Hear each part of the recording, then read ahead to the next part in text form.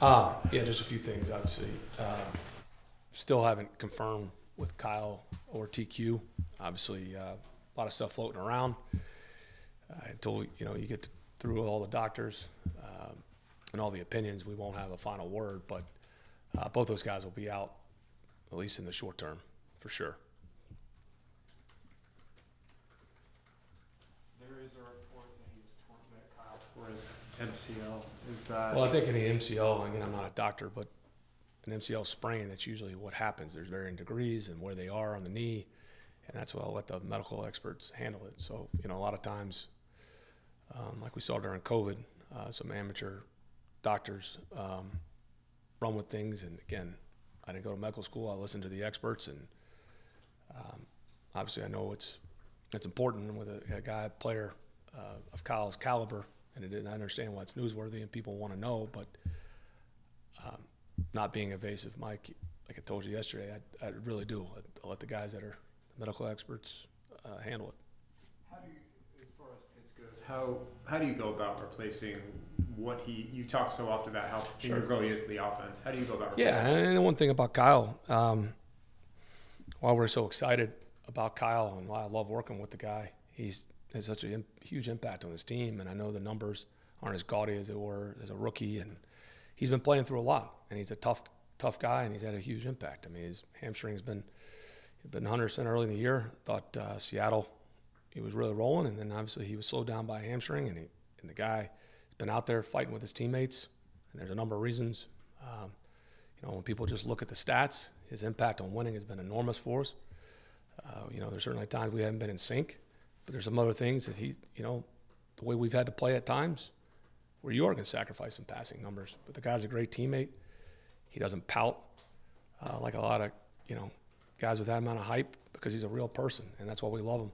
And uh, he's a real teammate, and the future is really bright for him, and that's why we're so excited about him in this organization. Just to be clear, he's been playing through a lot. Do you mean from an injury perspective? Or? Well, just when a guy's at that speed, you know, where you saw a lot of plays he made last year outside, and we only missed, you know, a brief amount of time, but some things he may not have been able to open up with, but he's out there blocking well, and certainly, you know, it's a huge part of our offense, uh, as are a lot of guys.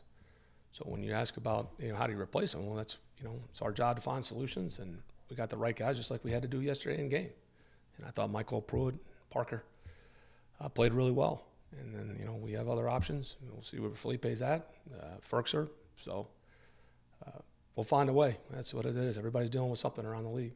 And just to be just to be clear, are either one of them? Is the plan to put either one of them on injured reserve at this point? We'll have to go through that as, as Terry and I talk through the next 48 hours um, until we get, you know, confirmation from, you know, the full set of medical opinions uh, and everybody's on the same page. You know, then we'll have to decide whether we need to make a move or not. And just because it's a range, I'm just going to make sure we're as accurate as could be. Just say uh, between us, uh, we've seen tear, we've seen sprain, we've seen bone bruise. Uh, for Kyle, nothing on uh, TQ. yeah, because I uh, don't so think anybody's leaked it out about TQ. Uh-huh. I, I- I don't, you know, I don't think anybody's leaked it. Certainly, you, you guys know how the game's played. You guys talk to the, the usual suspects. I, so, um, obviously, I guess TQ's not high profile enough for his stuff to get leaked. Um, I, I- don't, I don't know, you know, with that, I mean, again, you can go your own and, uh, you, Twitter still up? Is Twitter still up? Is it running? So I'm sure you can go down that, can, it's still running, so. I'm not going down that, trigger, that rabbit hole. So, no, in all seriousness, like if you look at, and I would, I mean, I mean, you look up MCL because there's a lot of, that's how things get spun out of proportion. Um, certainly in different sports, but leave it up to medical experts. We'll, we'll see. with Kyle and kind of the, the respect that he garners defenses, I mean, how much, comparatively speaking, when he's on the field versus when he's not, is attention being put on him by defense? Well, it depends what covers you're in and what they're trying to stop from us. Um, you know, so again, it's our job to find solutions. We got a lot of a lot of good players on this team, and like I said, in the NFL, it's an unfortunate part um, that happens, and uh, wish you had all your guys healthy all year. Uh, but certainly we're, we're one of 32, and every every team's got something. So it's our job as coaches to find solutions, and we got the right guys in here, and we'll put a good plan together uh, to go beat Washington, and that's our job. I know I asked you about the depth at defensive line last night. but Upon review, I mean, how much did guys like Timmy Horne and Jalen Dalton and Abdullah Anderson really step up to kind of help out when TQ gets carted off? Yeah, uh, big time. I mean, Timmy Horne's a guy that's gets better every week. He's in there grinding it out. It was a physical game. Uh, Abdullah, he's in there, tough, tough player. Uh, stuff that happens inside when you're close to football, that's not for everybody. Uh, that's why I love guys like Abdullah that go in there and grind it out, TQ, and, and all those guys up front. Uh, so I try not to be biased, but I, I do have a great appreciation for those guys that mix it up in there. And uh, Jalen Dalton, same thing. You know, altered that last throw, made the made the ball go high on, on Montgomery, and he had a big part of it. The way we were rushing, and Jalen uh, altered the throw, and was able Hawk was able to pick it off. So I'm very pleased with those guys. With MyCole Pruitt, um, you said last night that he was doing some things. I think your word was like the nuances of the game that people Yeah. don't necessarily look at. What are some of those things that may go overlooked? Well, MyCole, he, he uh, you know, I was with him in Tennessee. Um, we brought him in when uh, Delanie got hurt uh, after opening day in 18, and, and Mike Vrabel had been with him in Houston, and he'd been around, and I know some guys that had coached him in Chicago and in Minnesota. Uh, he was a very productive player coming out of college. He's a very powerful guy, and he's even as a veteran in some of the schemes we've asked, he's improved a lot. He's a heavy-handed player. He's got a great feel for space. He's a natural athlete. Played multiple sports in high school. Um, smart player too. So you know he had the one we had on the movement pass yesterday. He caught. It's a big play. Got the drive started. Uh, we scored the touchdown on. You could see when guys try to tackle him the way he finished that one. Um, I said, a heavy-handed player, smart player. We'll try to find a uh, more roles for him, and same with Parker Hesse. He's done a lot of the dirty work. We got other guys, you know. Hopefully, we get Feleipe back and and uh, Ferkser. So we'll, we'll see. In terms of the offense, this might shift more attention to Drake London from defenses now. Do you have to kind of? He's still a rookie in the fact that you have to like kind of talk to him and prep him potentially for Drake, that. Drake's he's wired the right way. And then we got, like I said, I mean, we we play a certain way. It's getting late in the year. Uh, it's a huge game for us coming up against Washington. They're playing well. Expected to be another physical battle. You know, they've they've kind of changed their approach. They're they're running the ball a ton too. Um, like I said, they got us here last year. Uh, you know, Heinicke at the end, and it's a big game for both of us. Right, they're they're six and five, and we're right there five and six, and it's, a, it's what you want. You want to be in games that matter this time of year as you're getting into the uh, Thanksgiving and December. So we're excited about it. You mentioned Taylor Heinicke. He ran for, I think it was eight and a half yards on you guys last year on a couple carries. Defensively, how do you kind of build on what you guys did against Yeah. Justin Fields and, and kind of continue that? Yeah, they're very different players, um, but you know he can extend plays. Well, He did a great job. I mean, everybody saw him in that Monday night game, keeping drives alive, and tough player. I got an appreciation for. Uh, you know, a guy that's waited his turn. You know, sat, came back. Uh, reminds me of Fitzpatrick, Ryan Fitzpatrick, a little bit. Uh, tougher than hell. Not afraid to make any throw, and, and you can see why his teammates love him. So we, you know, it, he's a, does a nice job extending plays. And if you're not coordinated in your rush game, and you get out of there and you create space, he can make it pay. He did that last year to us.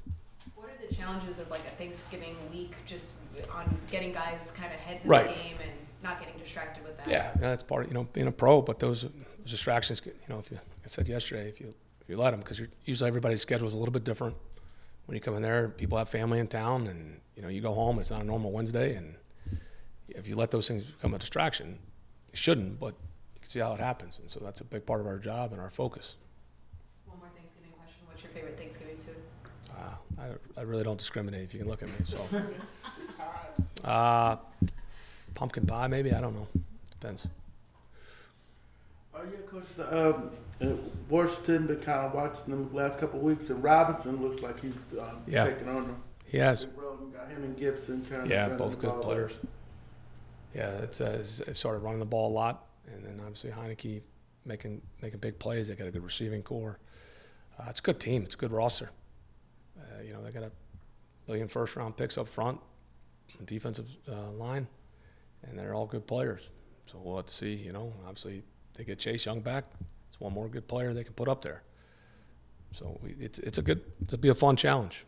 It'll be a fun challenge at this time of year. The way, the way they've kind of constructed their offensive skill position players, does it kind of remind you in some ways of what you're trying to do also with the amount of guys that they have that can kind of be put in multiple spots and have played multiple positions, even a Logan Thomas who still Yeah, I think- they started as a quarterback. Again, I, um, obviously we have Kyle Smith here, who was a big part of that personnel department and some of the stuff they did. And I don't, you know, again, they changed staff, so I don't, you know, from Jay Gruden to what Ron Rivera and his staff, what they've wanted to do. I, I don't know all those answers. I think it's a lot of it's just kind of the talent level coming out. Uh, but obviously Gibson's a guy that very familiar with coming out of University of Memphis. Uh, he's from here, right, D-Led? Yeah. Hun- Yeah. The Duke told me he was his buddy, uh, Huntley. Call him the Duke now, but uh, the Duke told me he, he knows him. But uh, great player. Uh, knew a lot about him coming out of Memphis. A guy that could play multiple spots, like you said. Um, yeah, good, good skill. It's a good roster. Any, I mean, any memories? Have you been back there yet as a coach? Uh, was last yeah, uh, It's been a while, right? It's been a while. Yeah, it was a bad game. It was in uh, 14. Uh, I believe yeah, another local guy, Whitehurst, I believe, started that game. I think it was in 2014, I believe. Any, any memories for you going back there? Since that's where Sure. Yeah. started. Yeah. Absolutely. Um, got a lot of buddies up there. Uh, hopefully, I'll get to see. Uh, you know, Thanksgiving weekends, a lot of people there. It's kind of the second home for me. So, yeah. I mean, there's, there's a lot of good memories. You know, uh, working for Joe Gibbs. Uh, very, very fond memories.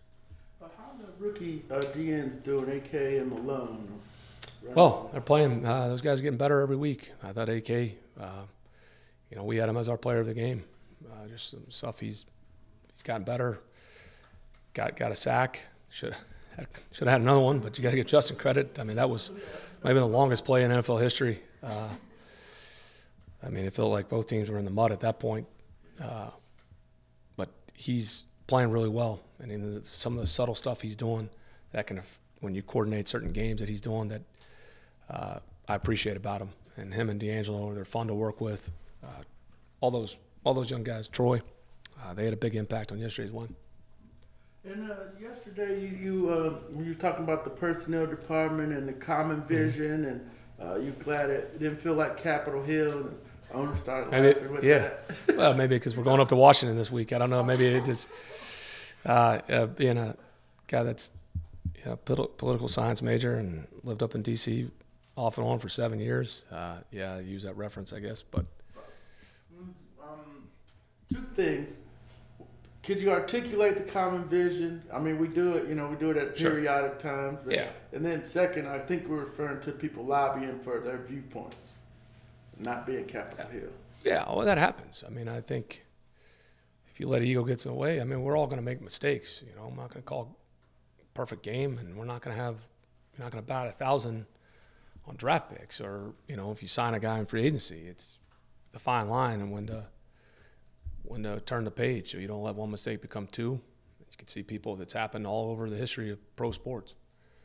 Um, it's hard, you know, because you can make a subjective argument ways. Hey, you give him more time, or you know, you move on too quick, or, or you know, guys keep him when you know he can't get played, and it takes three different position coaches before you realize the guy can't play. Seen that before too.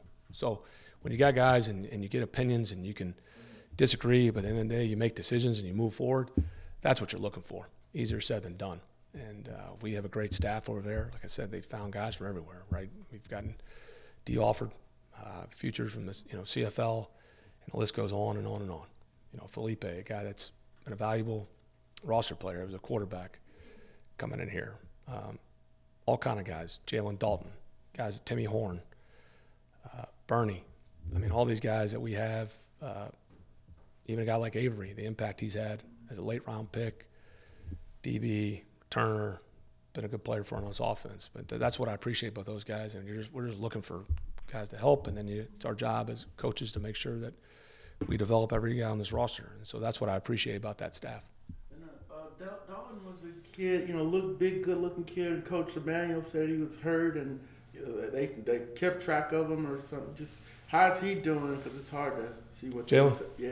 Yeah, it's what you know referring to earlier. I mean, he's gotten better. Um, you know, obviously, unfortunately, he was hurt in a couple preseasons, and uh, knew a lot about him. He was you know a North Carolina guy, um, so you know taking advantage of the opportunity. He came back. You know, he unfortunately got hurt in our preseason. Came back, and he, first time he's seen uh, live action, he's getting better every week.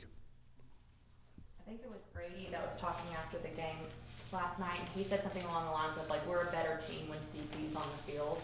And I feel like that's not something that you take lightly from Grady Sure. Jarrett. What does that say about kind of, not just what CP does for you, but how the locker room kind of rallies around him as well? Well, I mean, he's a veteran guy, and so guys that have, you know, you get to that point in your career, there's a reason you hang around this game. You know, you don't. It's it's hard enough to play in the NFL to make it one season, and when you become a veteran like that, then you're you're still productive. It's one thing to be a veteran, but if you're you're not really playing a lot, you know, guys like you, but they don't necessarily listen to you a, a ton. Uh, but when you're that productive, it helps. And uh, like I said, it, I was glad he got the got the opportunity to return on a kick, and obviously he, he's on record and the way he's wired. You know, he went back there, and uh, it was a hell of a play by a lot of people. Troy Andersen had a, a great block on that play. He almost fell down. He gets up. Those are things that go unnoticed. He's able to make the block. Mike Ford at the end. Um, so it, it was we needed it. You know, there was a, there was a momentum as the game was going back and forth, and it was a huge play for us. Just, uh, asked CP, CP had said before the season that if he got one more, he would. CP stop. tells you guys a lot of things. Oh, I know. great- Well, but he'd also said that he He's, he's, he's great for you guys. Uh, He is. that's why we love him. He's, he's funny. He's a funny, funny guy. Uh, CP's a great teammate. CP's gonna, like like all our guys, they're wired the right way, and they'll do what, whatever they, they think will help us win uh, as a team, and that'll be the same thing in terms of kick returns. So, again, No it, plans to retire him from kick returns. we're gonna do what's best for the team. If it's, carrying the ball 30 times, probably won't go back there. If it's a gotta have it situation, or you know, depending on the plan that week, the game plan, talking over through Marquice, we'll, we'll see. You know, it's he said he tells you guys a lot of things, and uh, that's why we love him. He's he makes I'm sure he makes y'all's job easier.